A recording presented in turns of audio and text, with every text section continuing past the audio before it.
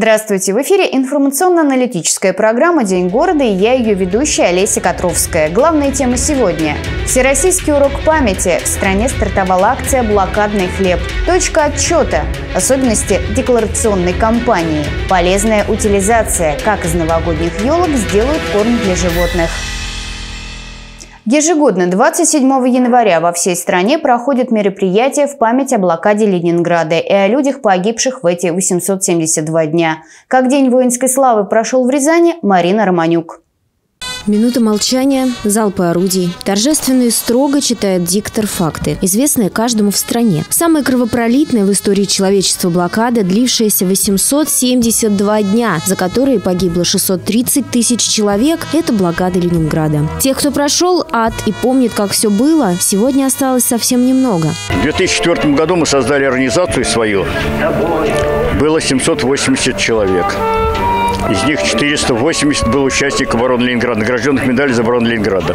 Сейчас из 480 осталось двое а всего у нас осталось 93 человека. Геннадию Соколову было пять с небольшим, когда его вместе с матерью и бабушкой вывезли из Ленинграда. Это было в 42-м. Но яркие воспоминания до сих пор живы. Помню, как через труп перешагивал, у нас в подъезде лежал, лежал труп. Дом разбомбили соседний, помню, все срезано сверху донизу. Кровати висят, одеяло, там и ямы громадные. Ну, такие кусочки, конечно, эпизоды. Остальные только по рассказам матери. В родной город Геннадий Николаевич старается возвращаться каждый каждый год. Несколько лет назад отправился вместе с правнуками, нашел дом, в котором родился, на Васильевском острове.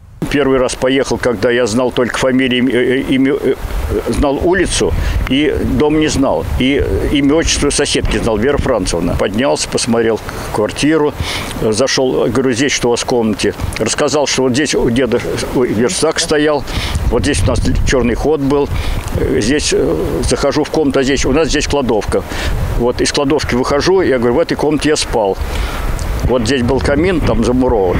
Здесь картина висела. Когда э, получилось так, что я, я момент запомнил, когда дом разбомбил соседский, открылась дверца камина, а я в, в кроватке был. С каждым годом свидетелей тех событий все меньше, но символом блокады навеки останется кусок хлеба – 125 граммов. Дневная норма, спасавшая жизни в нечеловеческих условиях. Рецепт блокадного хлеба состоит из солода, ржаной муки, а, далее идет у нас подсолнечная труха и не добавляются сейчас выбойки из мешка, а также еще добавляется соль.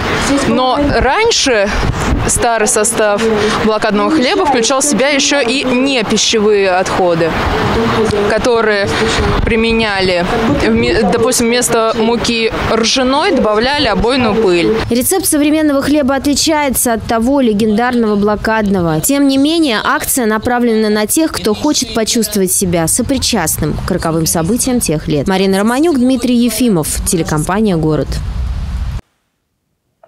Администрация Рязани опубликовала список свободных мест в детских садах города.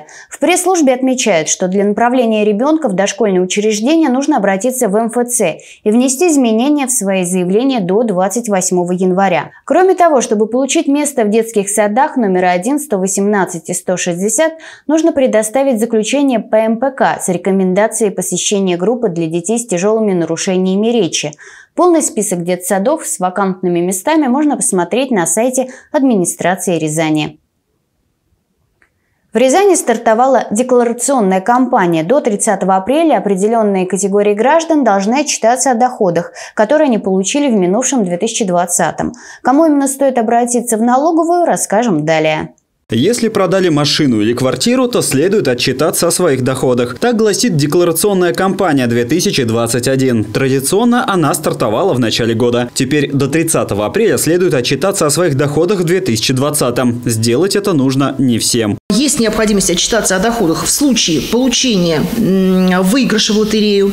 Кроме того, получение доходов от продажи доли в уставном капитале организации. Это также получение объектов имущества в дар от лиц, не являющихся близкими родственниками. В случае сдачи в аренду квартиры или другого имущества. Это также ситуации, при которых налогоплательщик должен до 30 апреля у нас отчитаться, подав декларацию формы 3 НДФЛ. Есть и тонкости. Например, при продаже автомобиля, который был в собственности более трех лет подавать декларацию не обязательно. Продажа недвижимого имущества, квартиры или гаража, минимальный срок владения здесь может быть три года или пять лет. Но есть четыре ситуации, когда смотрят на минимальный трехлетний срок владения. Первое.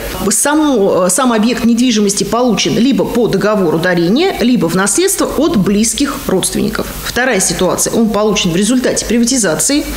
Третья ситуация по договору ренты. И четвертая ситуация – это как раз у нас вот э, новшество этого года в случае, если продается единственное жилое помещение налогоплательщика.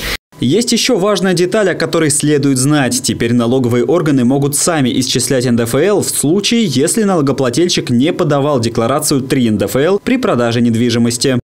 Означает, что сумма налога к уплате будет исчислена по простой стандартной формуле.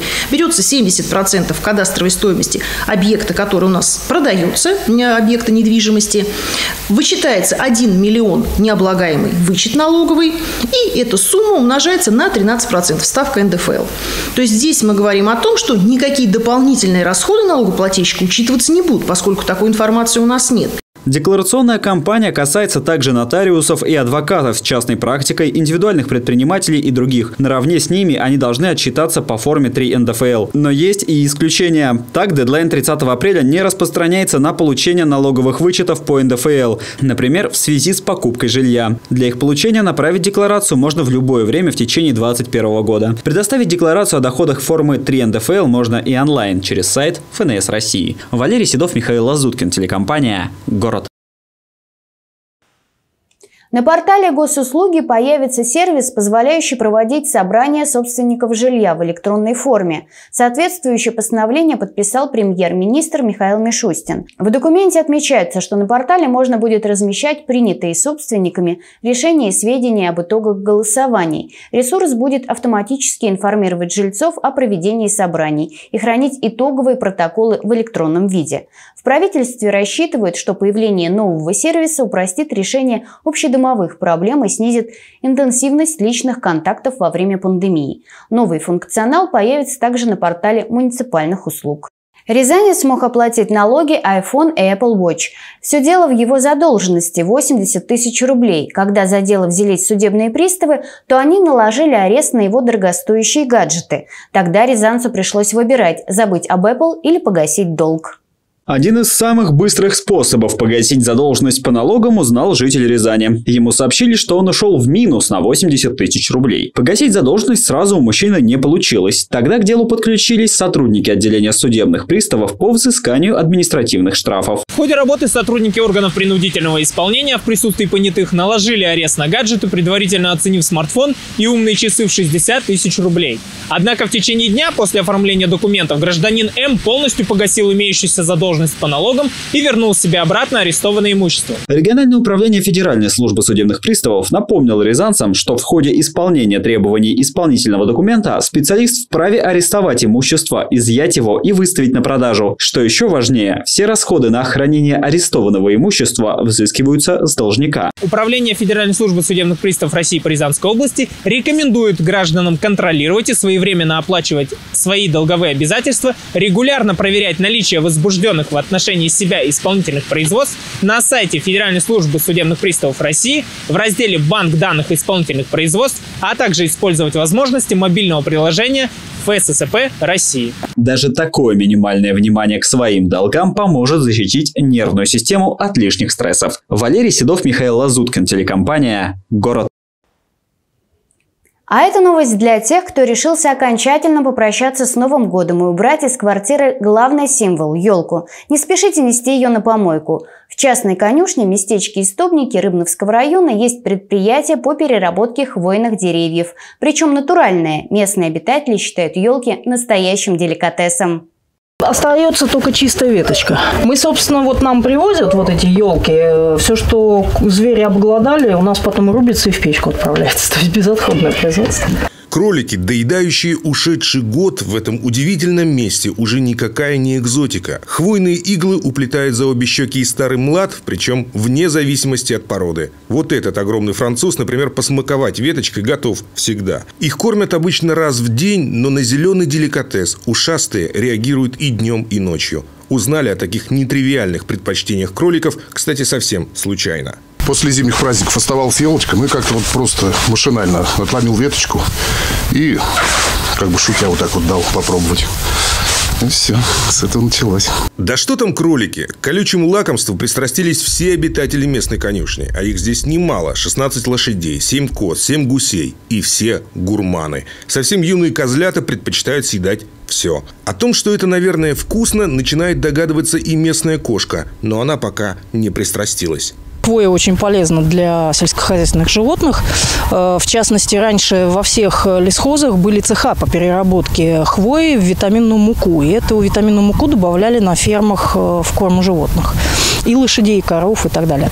Э, курам сыпали. И хвоя, она содержит очень много витаминов. А, С, Е, очень много аминокислот. И по составу хвоя богаче, чем молодая трава майская, июньская. Такой постновогодний аппетит вполне оправдан. На ферму приносят новогодние елки отовсюду. И местные жители, и коммерсанты. Цена одного экземпляра в магазине около 600 рублей. Здесь сегодня шутят, что кормят тутошнюю фауну почти золотыми деликатесами. Раньше у нас как-то получалось, что Э, хвоя попадала к нам спорадически, да, то есть где-то там как кто-то знакомый одну елочку привез, и вот у нас весь табун на эту елочку бросается. Сейчас к нам привозят машинами, поэтому животные до весны с витаминами, и как бы и мы довольны, и людям хорошо. В истубниках сегодня готовы принимать любой объем новогодних символов, разве что не массово, а по предварительной договоренности. Местное братья и зимним витаминам будет рада. Максим Васильев, Михаил Лазуткин, телекомпания «Город». Это все новости к этому часу. Еще больше информации вы можете получить на нашем официальном сайте город62.тв и в группе в социальных сетях. Всего хорошего и до скорой встречи в эфире.